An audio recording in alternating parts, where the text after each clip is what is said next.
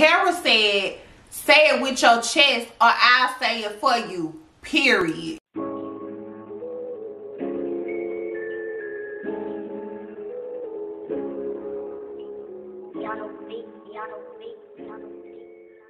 What's up y'all? It's your girl P Hope and I am back with another video. This is Love After Lockup, Life After Lockup, Season 3, Episode 29. And I don't really have much to talk about except for getting right on into it. So let's start with John and Kristianna. So the scene starts out with John and his homeboy. Y'all remember the older man, and I don't remember if he was actually the one, the um the preacher or however you call it in the Indian culture, who actually married him and Kristianna. But I remember that he was like the best man, and he was like right there by John's side when they got married. So um anyway, John goes to talk to him and he pretty much just wanted to confess because shit was just way too heavy on his chest so he wanted to let the friend know all of these lustful and flirty the lustful thoughts and all of this flirting that's been going on between him and tara. And the friend was like well i'm gonna need you to get that together because you already know every time you go down this road the shit doesn't pan out right for you. And so he hasn't cheated on his wife but in every relationship that he's ever been in he has definitely cheated so John has a strong history of not being faithful in his relationships. So the friend just wants him to get his shit together and, you know, do right. John also says that him and Tara have not said two words to each other, but about two words to each other ever since that almost kiss on the back porch last week. And so to keep himself busy, he's just been fixing on this boat because Kristianna always wanted a boat. He said his wife wanted a boat, so he purchased a boat and now it's, you know, it's a fixer-upper. So he's back there working on a boat or whatever and then he gets a phone call. It's Kristianna. Kristianna said that she had some great news, some good news. She said that um, instead of her being home in 30 days, she will be home in the next 48 hours. She'll be home in two days. And not only that, she does not have to go to the halfway house. She can report straight home to John. So of course this makes him super excited and he is all here for it. But then she says, well, I also have bad news. Because I am being released straight to your house, one of the stipulations is I cannot be around anybody that has open charges. And unfortunately, my sister Tara has open charges. Okay, now this is where John let us know that he was in a catch-22 because he, I feel like he's willing to bury his lustful feelings and his thoughts for Tara in order to pursue a real chance with his wife Kristianna. But the human side of him is really concerned about Tara's drug use. Because if she can't be in the house with her mom and with John, who has been keeping her sober, then it's no telling what she's liable to do. So, but you know, Kristianna feels really bad about it. She said, you know, I feel really bad about it, but you know, these are the rules. And if I want to come home, this is what's got to go on.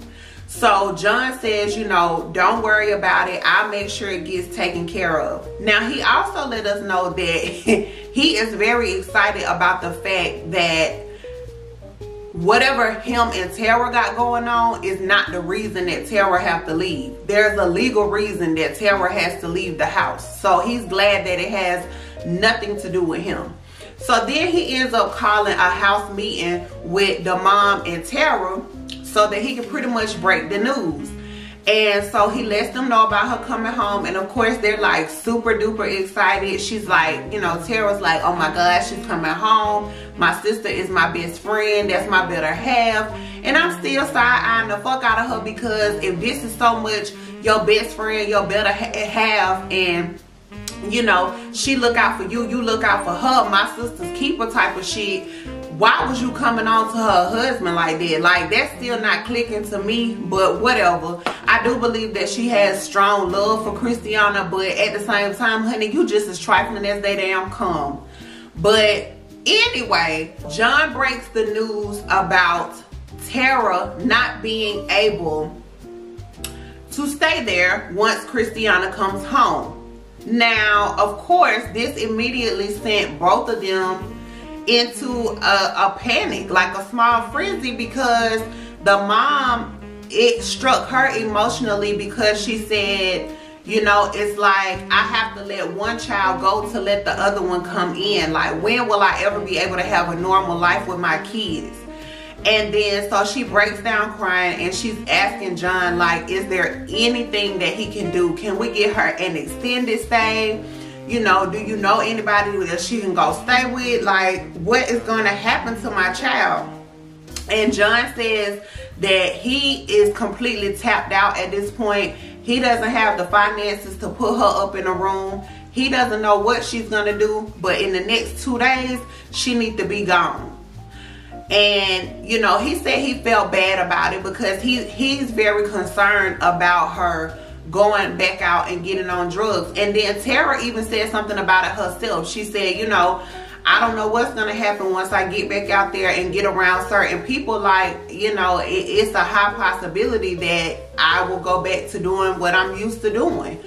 And so, I mean, hell, I feel like we all see that shit coming because that's going to be a mental blow for her to feel like, you know, you're not good enough to be around here. So like, we gonna go be this happy family, even though you've been here for the last nine months. But it's like, your services are no longer needed, so goodbye.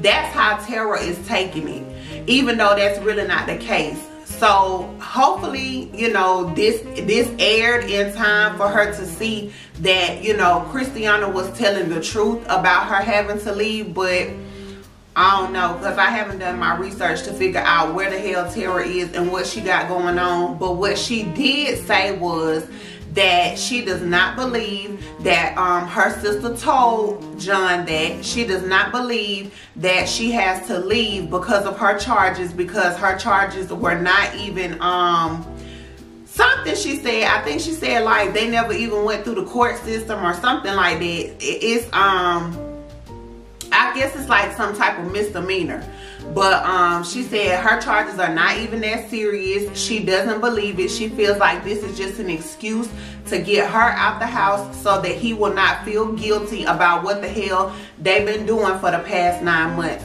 But she said what she will make sure she does before this is all said and done is she will let her sister know everything that's been going on between her and John. And then we'll see what he think about that. So you know, at this point, Tara is very upset and she's getting ready to be a very vindictive person. So I don't know how the hell she gonna break it down to Kristianna about everything they've been doing and still make herself look like she's so damn squeaky clean. But I guess we'll stay tuned and find out. Andrea and Lamar, theirs was um, pretty short this week, short and simple. Um, we are finally on the way for Andrea and Shantae to finally sit down and have some type of resolution. So um, it's Lamar and Andrea and Priscilla. Um, all three of them are in their car and they're headed over to Shantae's house. Once they get there, um, Shantae is the one that opens the door and she greets everybody with a smile and a hello. Um, she let Priscilla come in, she let Andrea come in, and then of course she greeted her dad with a hug. So um, the I think Shantae has two kids, I want to say. I don't want to give her three. We're going to leave it at two kids. And one of her children is older than Priscilla and one is younger than Priscilla, but she's still their aunt. So so um, that little dynamic was cute but i i know people who who have that kind of family dynamic or whatever but Um, she blended in with those kids like soon as she walked through the door pretty much. Like the kids weren't shy. I mean, you know, kids kids are innocent. So, you know, they just like shit. We got company, so let's go play. So that's what the kids went to do. They went out to play. And then um Shantae, Lamar, and Andrea all sit down in the living room on the sofa and Lamar, you can kind of tell that he is feeling really awkward about the situation. He doesn't know where to start. He doesn't know what to say. And um, so he pretty much just gave Andrea the floor. He was like, look, you know, we just here to kind of get a little more understanding about where everything went wrong, especially between you and my wife. And, you know, so I feel like I should just step out of it. I'm going to go step out while you ladies have a conversation. And that's exactly what he did. He took his ass out the door, which only left Andrea and Shantae sitting in the room. And so at first the ladies are just staring at each other like, I ain't got nothing to say to you. And you don't look like you got much to say to me. Shantae ends up taking the floor and Shantae says that her stance through this whole situation is that when her dad got out, he immediately went to her house with her children and started living this happy life with her and her kids. But Shantae and her babies were never included in that dynamic. And she just wants to know what was the issue? Why is it that it wasn't one huge extended family. Why did my dad get out and only deal with you and everything that you got going on? And Andrea's rebuttal was that her children are innocent. She has raised her children a certain way and you know, we all know Andrea's kids are sheltered to some degree. So, you know, she was right in saying that her children are innocent because it is a lot that they don't know about. And so she also said that she knew that she was already bringing home an ex-con to her kids. So on top of her doing that, she wasn't sure what Shantae had going on. And her exact words were, I wasn't sure if you were a brat. Now, for me, that was not an excuse because as a grown woman, you can't take a guesstimate on something like that. Now, granted, Shantae is not a little girl. Shantae is not like Priscilla's age. Hell, she ain't even Nyla and Tennyson age. But a child, somebody's child is somebody's child. So you should never just automatically shut the door because of a, what you think it is. You know what I'm saying? I highly doubt at any point if Lamar was ever sitting around bashing his daughter saying, oh, well, you know, my daughter is such a brat. You know, she can really be a whole lot to deal with sometimes. Like, you know, she is a bit extra. I just don't see that from Lamar. I think that you saw bits and pieces of Shantae. I think you made your own assumptions and your own judgments. And from there, you were kind of making Lamar feel like you didn't want Shantae to be a part of what y'all had going on. Like, I honestly believe that. And so, anyway, after they get past, you know, e each other's viewpoints, they said, well, where do we go from here? So, Andrea says that, well, Shantae says that she feels like, you know, she just wants her children because it's almost a little bit too late for her but she at least wants her children to have the experience that she missed out on and Andrea completely agreed with that. You know, she said she feels like her and Shantae do need to get to know each other a little more, spend more time with each other. And as far as those, um, as her kids go, she said that she's ready to spoil her grandkids. You know, she she's excited about being a grandmother. And so she is excited for the process. And it seemed genuine. I mean, it didn't show them getting up and hugging each other or nothing like that. But I do think that the conversation conversation was genuine on both ends and I think that both of the ladies were really being honest with each other. So hopefully that was a groundbreaking uh, moment for them and they can start, you know, they can at least start to acknowledge each other more and build from there. But that was pretty much it for um, Andrea and Lamar for this week, y'all. Shane and Lacey all right, Shane and Lacey, they were short and sweet this week too. But y'all know Shane been tickling me lately. For the past couple weeks, Shane has really been tickling me and it did not stop this week. Because Shane was running his ass around there in the house um, changing the locks on the doors. So apparently they live in a smart house y'all i didn't even know anything about a smart house until um, i went over one of my friends house who recently you know she just got her house and it's a um, keyless front door. So you know you just stick a you know you put your code in and that's how you enter the house. So child so it shows shane standing in the front door changing the code to the front door and so Lacey just looking around for a minute and then he started talking about, you know, um, adding on extra locks to the windows and he gonna do some shit to the back door. And so, you know, Lacey was like, well, what's all this about? And he was like, you know, I'm just trying to prevent, you know, break-ins in the area and things like that. And she said, well, does this have anything to do with John being out? And he said, why does it matter? And baby, it sent me to the king because it told Lacey everything that she needed to know.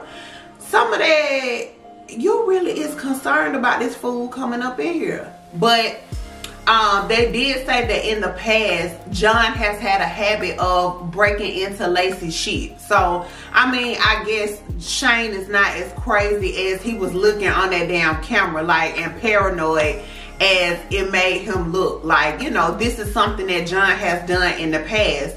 So he's just taking all precautions to let us know that if somehow and some way this fool end up inside of my house I have all right to crack this man's skull and that's what I'm going to do. So that's pretty much the message that Shane was putting out. So I didn't feel no type of way about him um, doing all this double, triple, quadruple security to his home. Now, then they go to John. John is on his way to meet up with Lacey's friend Miranda because he needs to know what's up with the what's up. He needs to know is Lacey the one that got him locked up that night because this is just really about to bother him. So they go and meet out on the lake and, you know, as soon as they get there, Miranda pretty much let him know like, look, I, you know, I really didn't even have to be here, but I just feel like because of the history that me, you, and Lacey have, you know, we go way back. So I felt like, you know, I could at least have enough respect for you as a human being to at least come, you know, see what you wanted. And he was like, okay, you know, I can respect that or whatever. He was like, so I, you know, I just jump right into it. Is Lacey the one that called the cops on me the night that I was arrested? And she said, honestly, I don't know the answer to that. I don't know if Lacey is the one that called the police on you that night, but at the end of the day, why does it matter? Lacey has moved on and, you know, I don't really know if it's my place, but I just think you should know that Lacey's pregnant.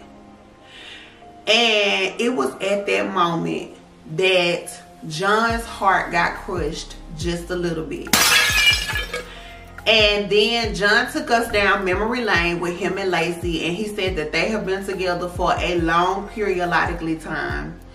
And that on top of that, he had actually impregnated Lacey at one point and she ended up having a miscarriage.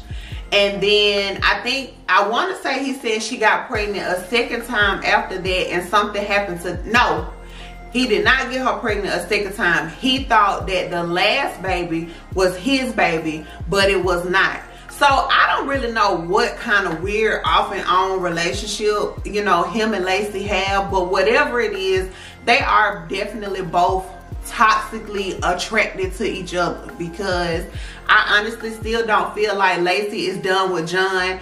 And John definitely already let us know that, you know, it's crushing to hear that you know she's pregnant by somebody else. And then he he asked was it by Shane? She said yes it's Shane's baby and so it definitely you know broke him down to know that Lacey was pregnant by Shane but at the end of the day he said that he still needs to know what's up with that night that he got incarcerated. So he's still going to get in touch with Lacey and it's not over between them. So baby or no baby, marriage or no marriage, it's not over between John and Lacey is what John wanted to let us know. So I have a feeling we got plenty more seasons of Love After Lockup to come because these folks just don't know how to quit acting crazy. Like you know, when he told us that he was addicted to Lacey like he is to a drug, he wasn't lying because he didn't care nothing about nothing. Marriage, pregnancy. I haven't, you know, she ain't answering your calls or your text messages. None of that matters to him. He'll be back. All right, this is two weeks in a row that I have not put Brittany and Marcelino at the end. You know, y'all, y'all coming on up on the totem pole now. So Brittany and Marcelino, we are finally ready for this Alaska trip. Everybody is packed and ready to go. Hold on, y'all. I think I got me a little, yes, I have me a beverage tonight. Y'all know I usually get all choked up. I got me a little water tonight. So anyway, they're ready for this little Alaska trip. And so um, Miss Cindy is excited because it is absolutely beautiful down there in Alaska even though she knows the real reason for the trip. So they get there to their cabin and y'all, the place where um, they're actually staying at, it is gorgeous. The view is beautiful and she said that, um, Brittany said that it's even more beautiful when it's actually snowing. But, um, you know, just a little bit that we saw, the, the cabin looked nice. The view was gorgeous. And so, you know, everybody's just straight chilling up in the house. And then Brittany pooches her ass down the steps. Mind you, they just pretty much got there. It ain't even been 24 hours yet. And she goes down to her mom and she was like, um, yeah, so I was thinking that we can go ahead and head over to Grandma Jackie's house.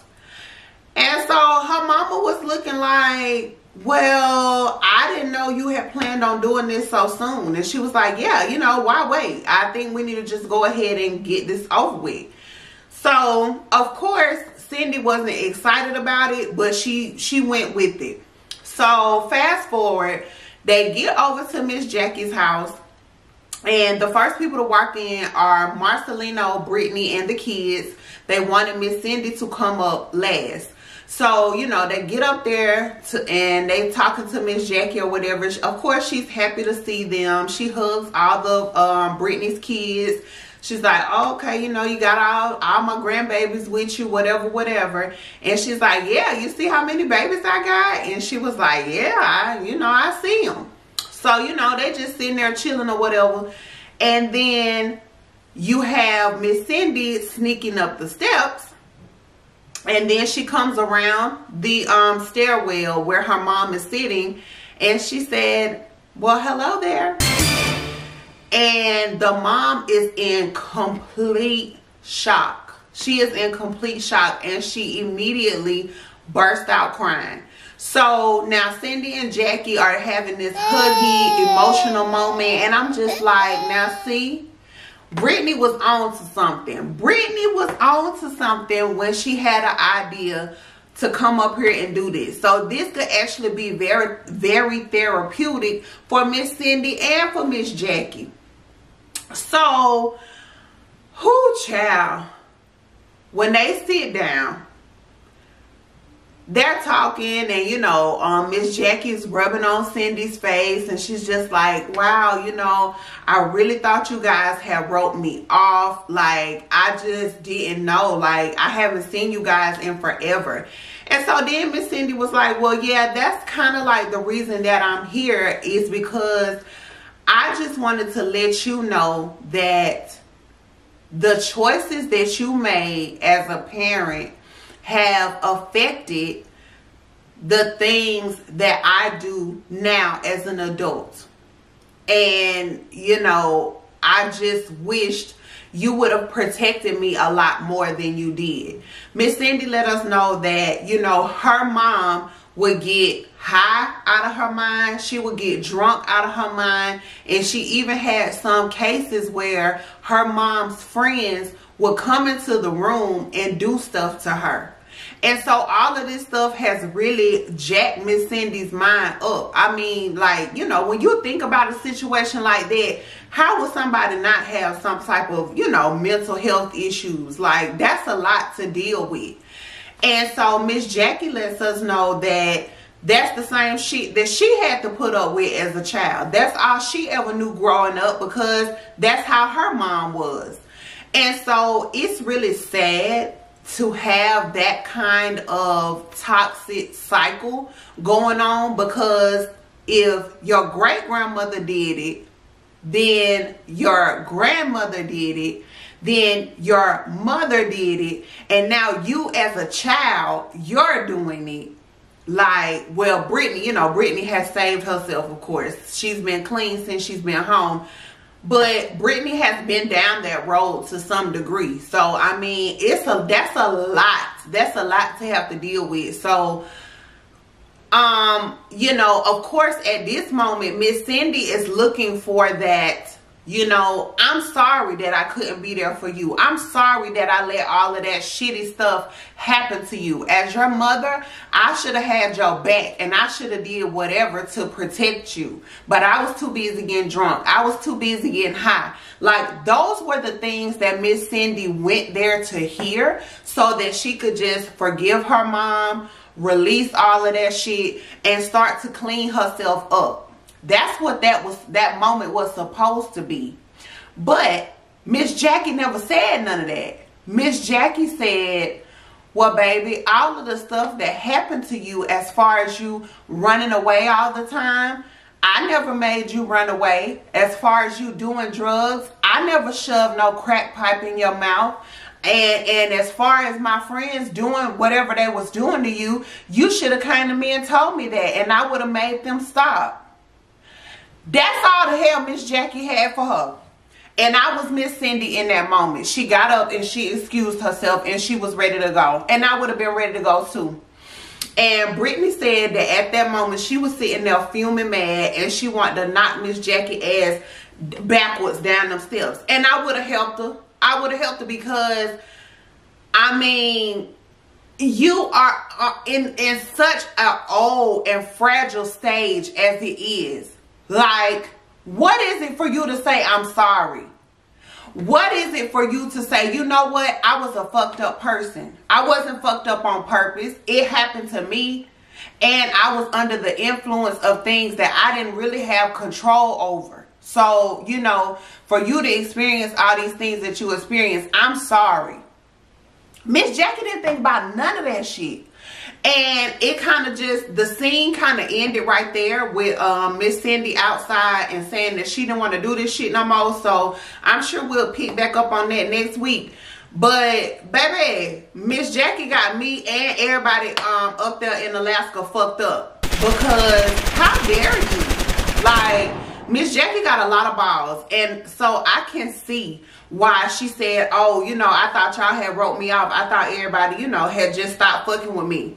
Well, yeah, it, even if we was ready to give your ass another chance, you just sealed your deal. You just you just put the nails in the coffin with this dumbass shit that you did. So I'm very curious to see how this um conversation is gonna um end next week and I think that while they're down there in Alaska, Brittany said they're also going to see Miss Cindy's dad and her baby daddy. So, whew, If Miss Jackie was just the first stop, then child, listen, Miss Cindy, if you come back to Vegas and you just start smoking crack, I ain't even gonna be mad at you because your first stop has just been a lot. And I really do feel bad for you. But y'all, that was Brittany and Marcelino. Woo! Shavel and Quaylon. Alright, y'all. Shavel and Quaylon. So, we're picking up where we left off with them. So, Shavel is twisting her wide shoulder ass over to my boo D-Mark and asking him if he will please watch Maila and go ride some rides with her so that she can have a little alone time with Quaylon because remember D-Mark said he was tired of looking at uh Quaylon's little dried up looking ass. He was over it. And so um he's gonna go spend time with little Maila while Quavo and Shavel do what they do.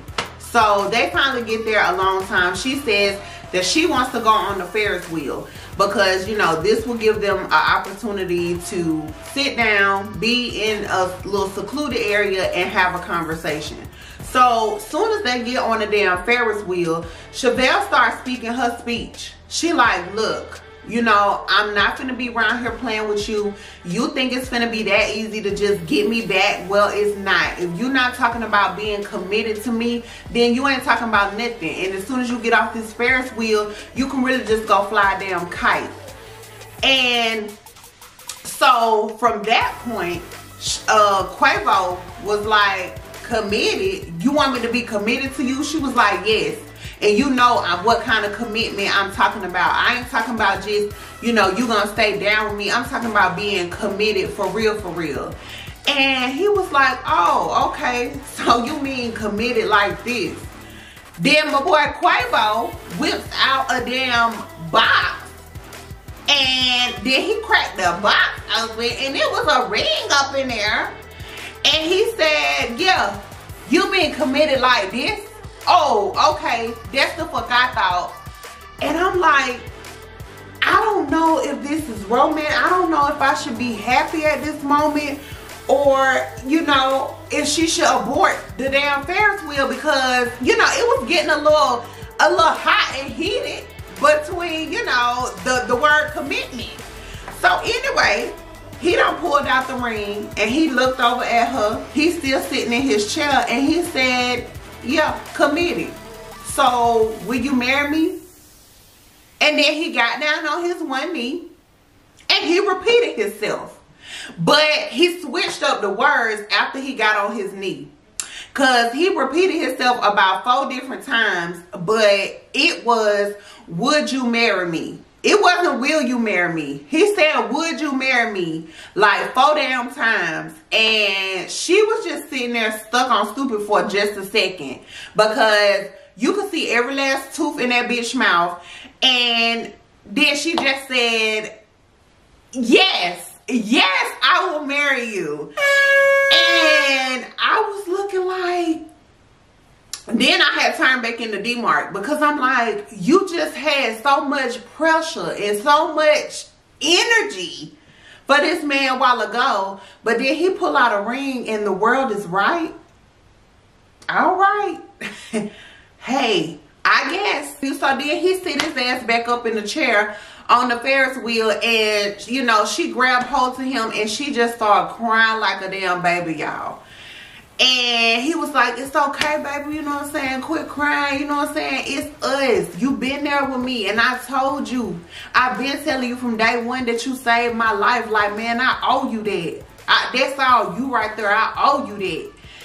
And I'm like, man, this is some real ghetto love right here. This is, this is some real ghetto shit. But they loved the moment. Um, Quaylon got the reaction that he wanted. Shavel is feeling like she's on top of the world. She's flashing her ring. She's ready to, you know, blind a nigga with her, um, I finna, I'm not finna go there with the damn, um, CZs. But I'm, I'm not saying, but I am saying that I have some similar looking costume jewelry in my bathroom right now. That's all I'm saying. But anyway, Quaylon is feeling cockier than ever at this point. He said, you know what I'm saying, I can't wait to go down here and put this shit in D-Mark face, you know what I'm saying, so he can shut the fuck up. And I'm just like, okay, so now we know what is about to transpire with this whole blow up down in Branson. It's about to be D-Mark versus Quavo. Who y'all got y'all money on? That's what I want to know. Drop down in the comment section below and let me know who y'all got y'all money on. Is it my boo? Now, I do agree with y'all, all of y'all that's been saying that D-Mark is acting like a fucking scorned ass ex-lover or something, or acting like, you know what I'm saying, he was trying to slide in on Shavel, and then here come Quavo cock blocking this shit. I do, I do agree with y'all, because he is acting like that. He's acting like he's doing more than his cousin duties. Let me say that. But I want to know if that's the case, and if these two gonna jump in the ring and get the goddamn throwing them balls next week, who y'all got y'all money on? I ain't gonna tell y'all who I got my money on, but I will tell y'all if it's right or wrong when that clip finally do happen. So I want to know, put D-Mark and then put the boxing glove or put Quaylon and put the boxing glove. Let me know who y'all got y'all money on for the fight. And that was it for Shavel and Quaylon. And now let's go on to our last couple of the night. Woo, y'all. Last on the list ended up being Lindsay and Scott because at this point I think we are all over this couple and I think and I'm hoping that this was the finale for them and we don't have to see them anymore because at this point they tired. Like Lindsay is super tired. Scott you've been a fool from day one. So I mean y'all can go. At this point y'all can go. The door. In my Zoe voice okay? Um so their scene starts with Scott telling us that, you know, he just is in disbelief in the fact that he fell in love and he had no idea that she was a psycho. Okay, big deal. Because my thing with that is, Scott, I do agree with Lindsay to a certain degree you had shit of your own that was going on. You admitted that on camera. Uh, you know what I'm saying? She call them prostitutes, you call them escorts. But either way, for her to find out that information, I do believe that the rest of that stuff that she found about you not having no money and all of that other shit, I do believe that that is true. Because if you really had money like that, when it was um time for you to just really put your rollerblades on and get everything done for Miley Grace, you would have called that damn black lady back from episode one that you had come over there, the interior decorator. You know, we never saw that bitch again. So, you know, if you had so much money, you could have had somebody been come in and got all that stuff done because at that point, it was not that rocky between you and her. So I do believe your finances are jacked up. Um, and I do believe that, you know, you was doing what you was doing. You was paying for the poom poom. Wow. Like, it, it is what it is. But, you know, you said that you can't believe you fell in love with a psycho. Well, you know, we can. We can.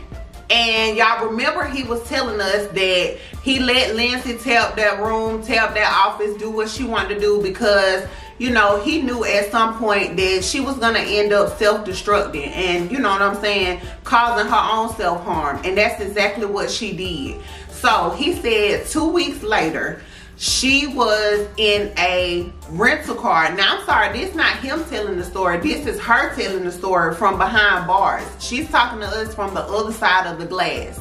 She said that two weeks after she tore up Scott's office, she was going to get a rental car. She had a rental car and the rental car, she ended up getting pulled over by the U.S. Marshals and that rental car had drugs in it.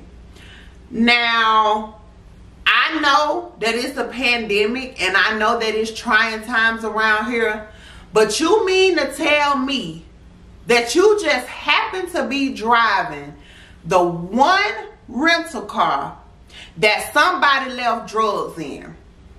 That's what you want me to believe. Huh? Because I'll wait.